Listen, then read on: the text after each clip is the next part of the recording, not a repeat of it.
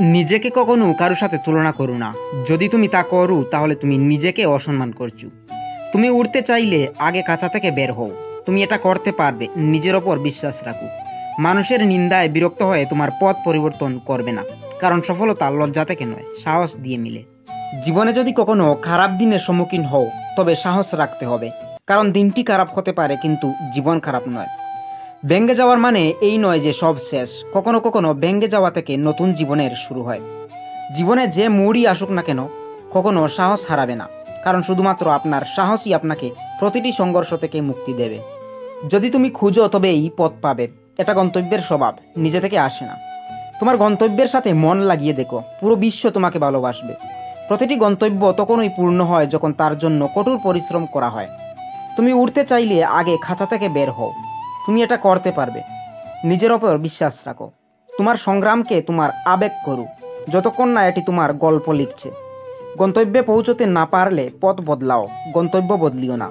কারণ গাছ তার পাতা বদলায়, শিকড় বদলায় না। সফলতা তাদেরকেই ভালোবাসে, যারা লক্ষ্যের পেছনে দৌড়ায়। যদি কোনো কাজ করতে ভয় পাও, তবে মনে রাখবে, এটি একটি সংকেত যে তোমার কাজ সত্যিই সাহসিকতায় পূর্ণ। যদি তুমি নিজের ভুলের জন্য নিজেই লড়াই করো, তবে এর অর্থ কেউ তোমাকে পরাজিত করতে পারবে না। সততা একটি ব্যয়বহুল শখ যা সবাই বহন করতে পারে না। পরিশ্রমী, সৌভাগ্যের জননী, প্রত্যেকেরই জেতার আকাঙ্ক্ষা থাকে, কিন্তু খুব কম লোকই জেতার জন্য কঠোর প্রস্তুতি নেয়।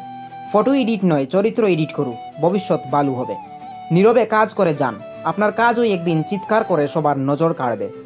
কখনো না হারাটা মানুষের সবচেয়ে বড় বীরত্ব নয়, বারবার হেরে গিয়ে ওটে দাঁড়ানোই মানুষের সবচেয়ে বড় বীরত্ব। আমরা যখনই হতাশ হই, তখনই ভাগ্যকে দোষারোপ করি। কিন্তু আমরা বুঝতে চাই না যে এর জন্য আমাদেরকে আরেকটু বেশি পরিশ্রম করতে হতো।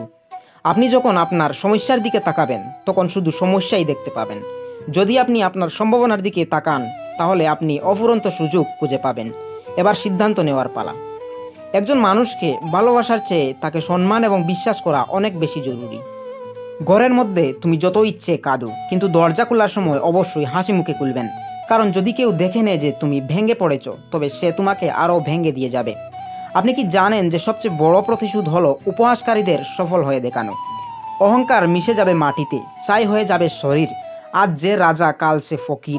পুরো খেলাটাই ঘড়ির প্রতিদিন সকালবেলায় এই চারটি কথা নিজেকে বলবেন। আমি সেরা, আমি নিশ্চয়ই পারব। ভগবান সর্বদা আমার সাথেই আছেন। আজকের এই দিনটি শুধু আমার।